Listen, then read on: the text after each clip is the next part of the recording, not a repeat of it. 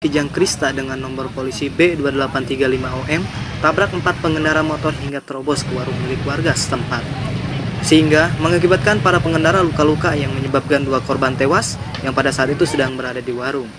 Tepatnya di Jalan Raya Cikidang, Kampung Cilengo, Desa Sukasina, Kecamatan Cibadak, Kabupaten Sukabumi. Para korban dievakuasi langsung ke Rumah Sakit Sekarwangi Cibadak. Akibat kejadian tersebut mengakibatkan dua orang korban meninggal dunia. Salah satunya yakni Ridwan berumur 28 tahun dan Risa yang berumur 11 tahun meninggal dunia saat dievakuasi ke rumah sakit.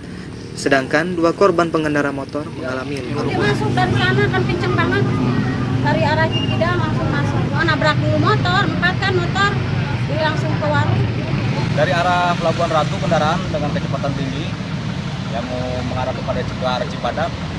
Nah, pertama dia menabrak eh, sepeda berdua, kemudian baru eh, menabrak ke warung. Kita masih mendalami dugaan-dugaan ini apakah kelalaian eh, faktor manusia atau memang kelalaian daripada eh, kendaraan di rumah sakit. Ya, kita sudah bawa ke rumah sakit, kita upayakan ke rumah sakit, namun eh, meninggal di rumah sakit. Akibat kejadian tersebut diprediksi mengalami kerugian puluhan juta. Dari Cibadak, Budi Arya mengabarkan.